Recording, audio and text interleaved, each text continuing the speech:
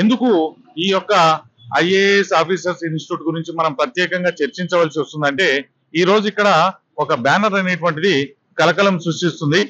ఎందుకు ఈ బ్యానర్ కట్టారు? ఎవరు కట్టారు అనేటువంటి విషయాలు మనం ఒకసారి ఈ యొక్క మెయిన్ గేట్ ఉన్నటువంటి ఈ బ్యానర్ గురించి అడిగి తెలుసుకుందాం. తెలంగాణ అసలు దొంగలు వీళ్ళే అనేటువంటి ఒక పేరుతో ఒక బ్యానర్ అనేటువంటిది ఏర్పాటు చేయడం జరిగింది.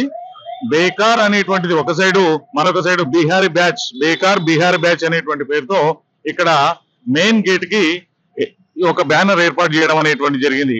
ఎవరెవరు ఉన్నారు దీంట్లో ఒక ప్రధానంగా చూసినట్లయితే doctor Rajiv Sharma IAS retired Somesh Kumar IAS retired Narasinga Rao IAS retired Rajat Kumar IAS retired అనేటువంటి వాళ్ళు ప్రధానంగా ఐఏఎస్లను చెప్తూ వాటి కింద KCR ex CM Harish Rao ex minister KTR ex minister Kavitha state MLC అని చెప్పేసి ఇక్కడ ఈ ఎనిమిది మంది ఫోటోలను మనకి ఇక్కడ వేయడం అనేటువంటి జరిగింది.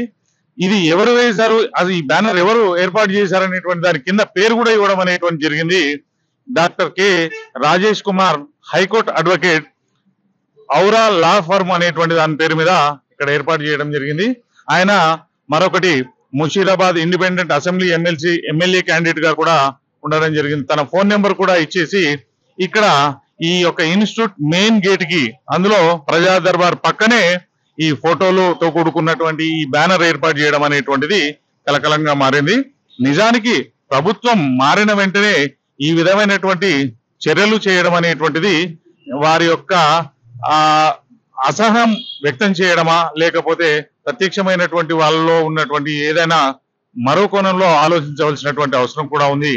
ఏది ఏమైనా ఈ విధమైనటువంటి బ్యానర్ ఇక్కడ ఏర్పాటు చేయడం అనేటువంటిది మనకు కొంత కలకలంగానే కనిపిస్తుంది మరి ప్రతిపక్ష పార్టీలు దీనిపైన ఏ విధంగా స్పందిస్తాయి అనేటువంటిది వేచి చూడాల్సినటువంటి అవసరం ఉంది. ఓ టు న్యూస్ నైన్ స్టూడియో.